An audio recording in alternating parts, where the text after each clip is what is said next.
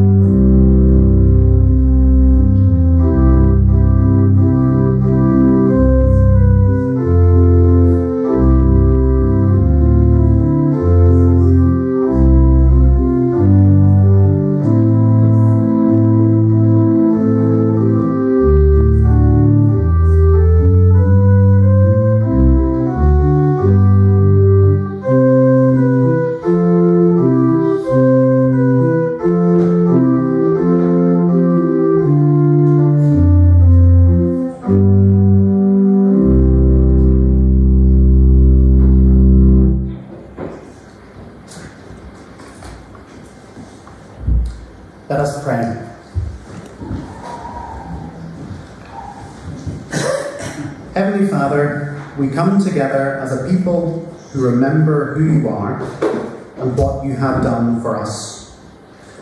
What you have done here in our church and in our lives, calling us and keeping us by your Spirit. Lord, we praise you for your faithfulness and for your compassion. We are only able to love you because you first loved us. And Lord, we remember your salvation plan through the Bible. All the different things you did to call your people to yourself, to protect them, to lead them through a wilderness into a promised land, to give them a home, a hope, and a future. Your patience and your faithfulness, including today through the story of Jonah. We remember how all things led to the birth of your Son Jesus, and we remember how he loved and taught and gathered people to himself, and how he gave himself, how he paid the ultimate price for our sin, how he was punished and he died for us.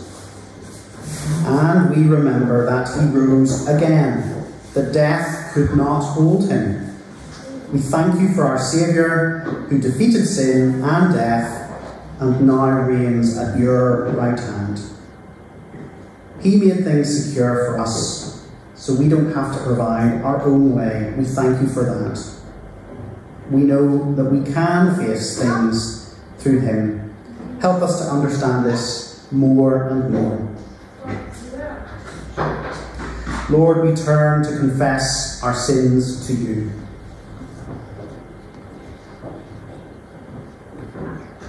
Lord, we are not all that we should be. We never are. There are struggles inside us that we face all the time. If we were to begin a list of them, Lord, it would probably take all day. Yet we also know there is hope. Hope that you will overcome them by your work in us. We bring these things to you. Continue to grow in us a new spirit. Give us your wisdom and strength as we need them. And Lord, we bring our requests to you. To begin with, Lord, we want to pray for the current situation we are in, we are facing. We are, want to be faithful in asking for this virus to pass from our communities and nation. For all those working to get a handle on it, to keep us safe, we pray for them. We pray for continued wisdom and care in taking all reasonable precautions. Help us to be patient, O Lord. I ask, Lord, again, so often we won't face a second wave, that the measures we take will be successful. And Lord, I feel it's right to ask this. You want us to bring our requests to you willingly as children to a loving Father. But Lord, I also know, as Jonah might say, we know what you're like. We know you have plans, and you know, maybe a second wave might be part of those plans. But we still humbly ask and we seek your face in this. We do not want a second wave of this virus. We pause right now, Lord, to think of those who are facing sickness in our families and in ourselves right now.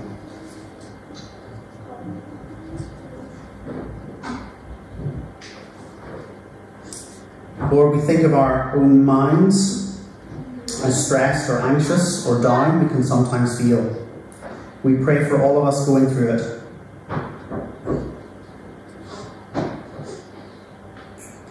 Lord, we think of our wherewithal, both in our families and our communities, folks going through tough times, financial worries, job worries, uncertainties into the future. Help us in this.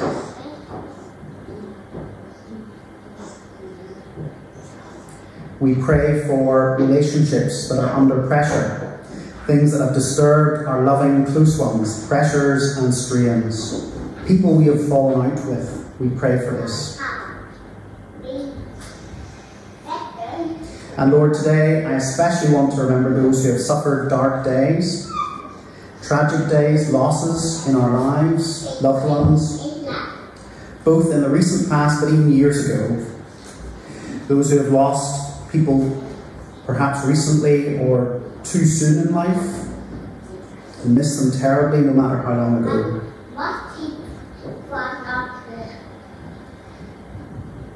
Help us, Lord, in all these things to think of the time to come when all tears will be wiped away, when you transform all these things in ways we don't fully understand yet, reconciling all things to yourself. We look to that resurrection.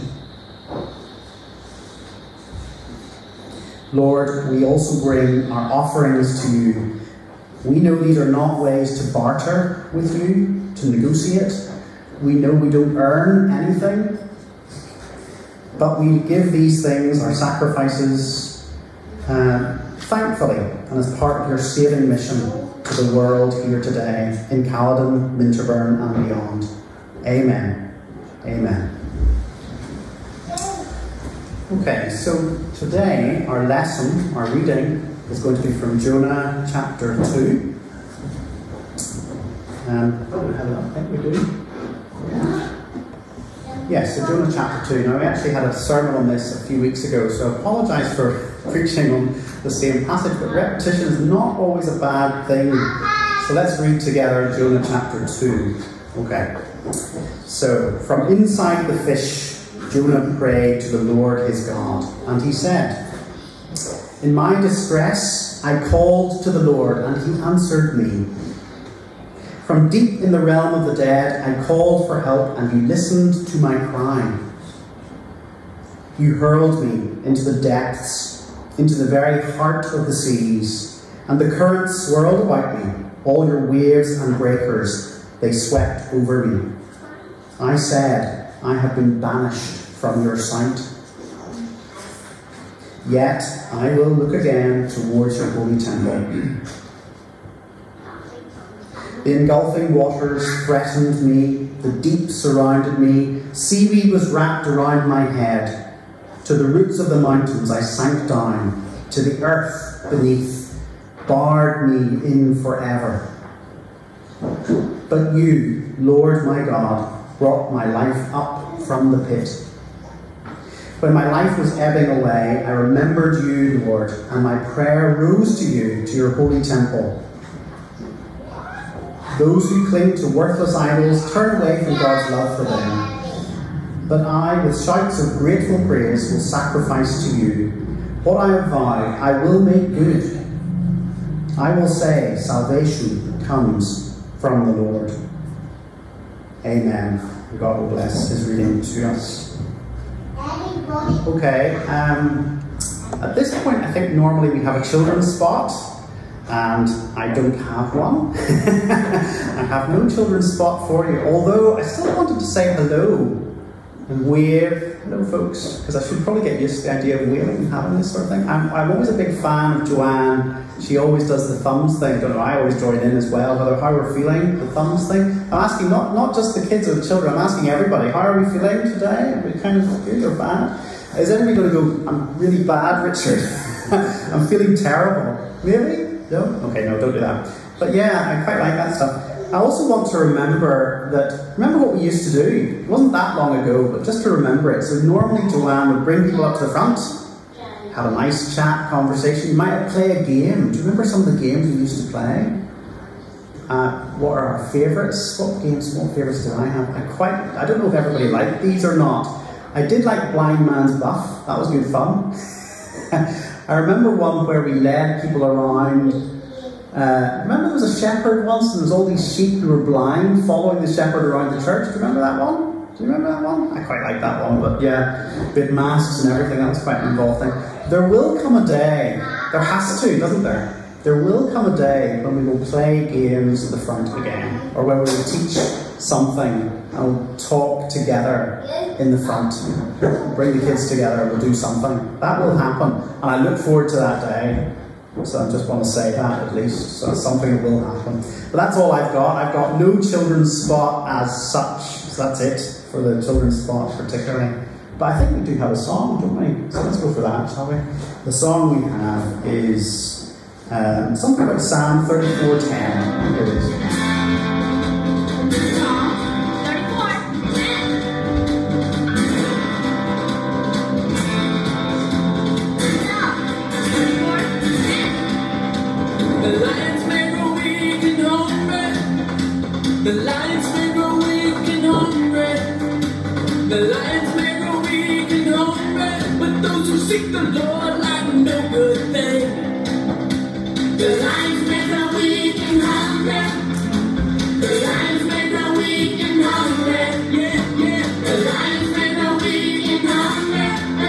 Seek the Lord like no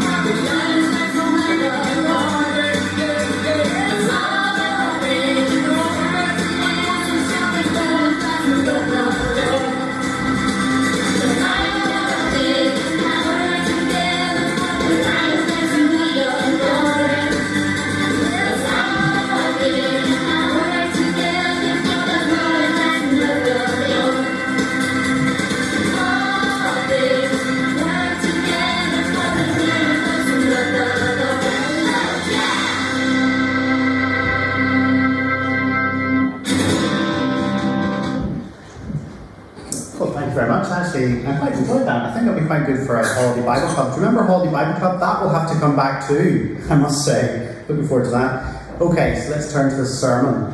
Um, okay, so this morning, this morning I want to think about, in the very short time we have, about uh, the darkest of days that we all sometimes face. That's so dark in some ways. And I'm almost I'm so sorry for bringing it up or talking about it. Uh, here we are on a Sunday morning. It's a bit of a sleepy kind of. It's not quite sunny, but a sleepy Sunday morning. And here I am trying to talk about those darkest days that we face, the worst of days. Okay, and it's partly because of Jonah 2. Jonah 2 starts off in my distress. It's a prayer to God while Jonah's thrown into the ocean in the deepest of distress, the darkest of days. What can we learn from Jonah 2? Uh, so, yeah, you all know what those kinds of days are like. And I, I don't want to frighten you, it's not like I want to be scaring you, but I do want to think about it. We know what those days are like, aren't they? Um, the phone call in the middle of the night, that kind of thing. Or worse, perhaps, if you also have to give that phone call in the middle of the night. Those distressing days. I have to be careful. As far as I'm aware, no one in the churches are going through that kind of day just today. That's not a crisis that you're facing today. But what is it like? What happens on those days? I want us to think about it briefly, almost to prepare ourselves for those days because they happen. They will happen. Um, what kind of thing does it involve? It's usually something life threatening, but it could be anything. I mean, it could be about calamity, financial, long term sickness, relationships. There's all kinds of those dark days, but the worst of them is usually something about death, isn't it? It's usually we're scared for someone else, for our loved ones, or perhaps we're facing it for ourselves. Those dark days. Actually, Joy, is it possible to put up Jonah 2? Is that possible to put it up? There's something about the language of Jonah 2 which will help. It's definitely about drowning. It's about falling into a pit, watering, and it feels that way sometimes with those days. It comes upon you suddenly, you don't expect it, and you can't you feel you can't get out of it, and it covers you up. It's like the waters are covering your head. And that's definitely the language that Jonah's using in this distressing prayer. It's also the language of the Psalms. Um, very often the Psalms will talk about falling into a pit. And actually, it's funny, we tend to think of a pit, falling into the pit, as if it's some sort of a fiery pit. But actually, usually it's a watery pit in the Psalms. It's like the waters are coming up, are rising up above my head, and I'm drowning. So it's, it's a common kind of language that the Bible uses about these distressing calamities that fall upon us. So it's worth knowing that as you read, uh, as you come across the Psalms, it's worth getting into that. Uh, how often do we face these kinds of days? Hopefully, not often. For some of us, we might get away with it. It might be that they only happen a few times in our life. Or it might be that it's something that's happened a long time ago, but you still bear the scars, still carrying the burdens of it. Some of us here have those kinds of experiences. Sometimes they're overwhelming, sometimes they are the worst of experiences, and um, they're just too much. I always think, I have to be careful here, but whenever I read the Psalms now, and I read about falling into this water, I actually have an example that I always think about, and I should be careful how I talk about it because it's a real life example. I wonder if you remember it. Maybe about, it was four years ago. I know the name of the family. It was in uh, Donegal. There was a family, I don't want to give too much detail, but I'll give you the gist of it. There was a family going for a day trip, a day trip driving, and a car slipped into the water. I'm sorry, it's a terrible example to give you, but that's what happened. It was a story of heroism. There was a, a football player who was able to, to dive in and be able to save one of the family. But in an instant, it just from a day out, a lovely day out, and the most safest of joy, joyful days out, into the most overwhelming of distressing, terrible, terrible days. I pray for that family. I pray for that family now. They're still going through it. How could they not be four years later? But those are the kind of days that can happen. They do happen. How are we to handle such a day? That's maybe an extreme example, but how do we handle any loss? How do we handle these things when they happen? I'm not going to be able to get into a great deal of detail, but I have three things to say from Jonah. So let's uh, just think a little bit about Jonah. The first thing I want to say is how emotional it is, how changeable it is. Uh, notice, just as he's swallowed up by the waters, the waters are churning and swirling around him, so too his emotions are everywhere. And do not worry if you find on those days your emotions go everywhere as well. There's a combination of despair and also hope.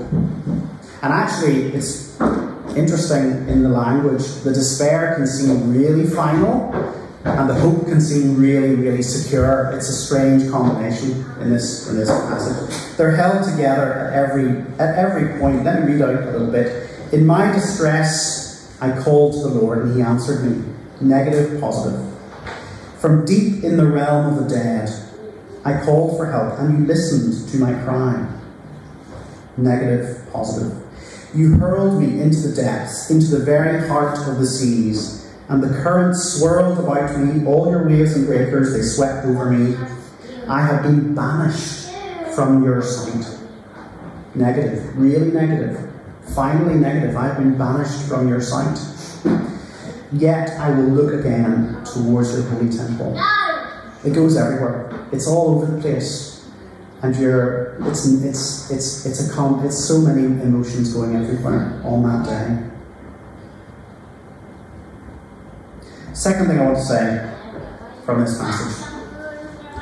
is also clearly in this passage from God. That's a deep mystery to us. There's no doubt all of these things come from God. The language is clear. You hurled me all your waves and breakers swept over me. I have been banished. It is by God and God alone. It's not a case of God is struggling in some way, wrestling with someone. It's not as if there's a contest between God and Satan, and God is trying God's best to save you, uh, but can't. No, it's not. God is fully in control of this situation. There's a deep mystery to that deepest of mysteries. And normally I'd be eager to get into some of those mysteries, by the way. Different people will have different attitudes to those mysteries. There will be many people who will say, Richard, you cannot answer those questions, you can't get into it. I'm not one of those people, actually. In many ways, that's actually part of my bread and butter to get into those issues. I teach that stuff sometime in the college the problem of evil or about these kind of deep questions. So if that's where you are at If you're the kind of person who say, listen, I still ask those questions, I still wrestle with them, talk to somebody. Feel you want to talk to somebody. You can talk to Joanne, you can talk to me, we can arrange to meet up and have a discussion about it and get into it. If you're facing something, that's one way of facing it. But even if it's just an intellectual doubt that you have and you've always carried it, it's worth asking those questions with someone and thinking about it.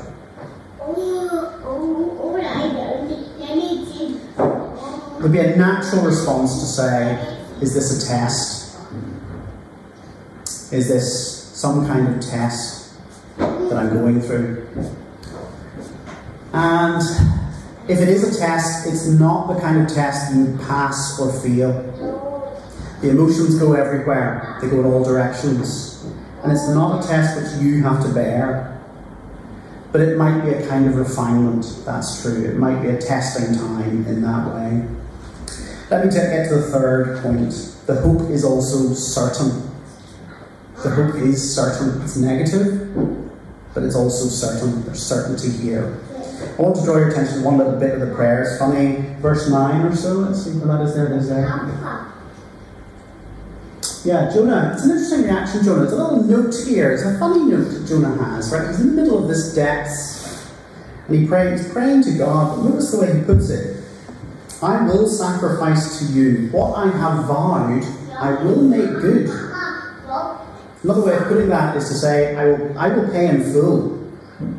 Okay, and earlier on he talked about, I will be back to the temple, and I will pay in full salvation, yet salvation comes from the Lord. It's almost like Jonah's in this dark place. There is a little note here, isn't there? He wants to pay his way. He wants to say, listen, I'll sacrifice, I'll do what it takes, get me through this. It's desperation. There's a little note of that here in Jonah.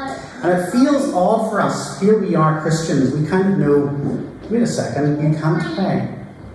And you can't in a sense, Jonah is unable to pay that price. It's a natural reaction to have in that day. Say, I'll get out of this as much as I can. Please, God, do everything you can. I will do something. I will sort of bargain your way. But we have a certain confidence as Christians. That price is paid in full, but not by us. That price is paid by Jesus Christ.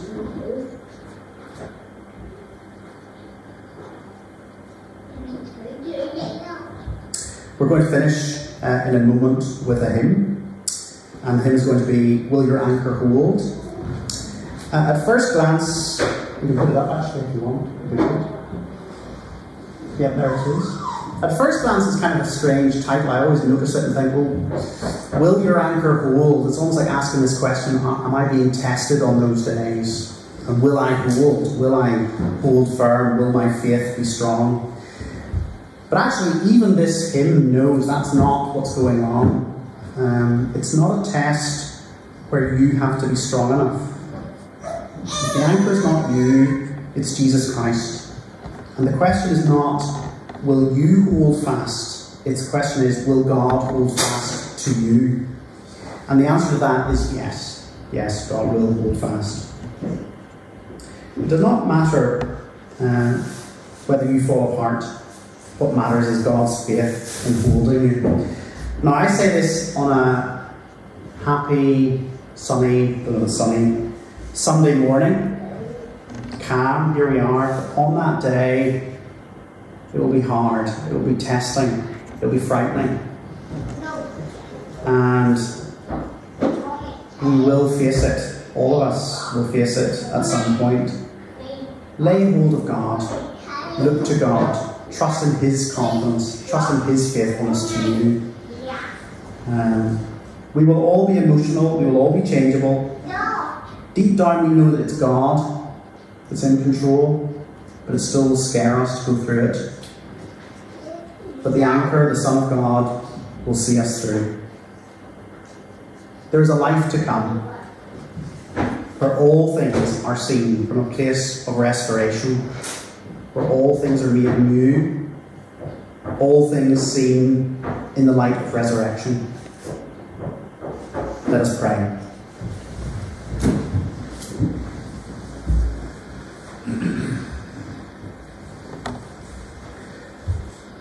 Lord God, these are heavy things.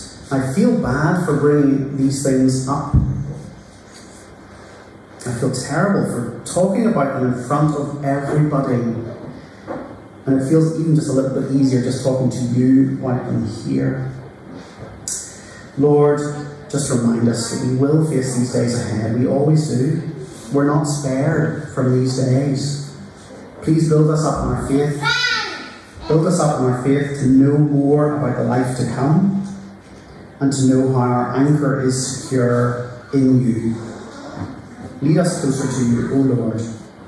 Amen.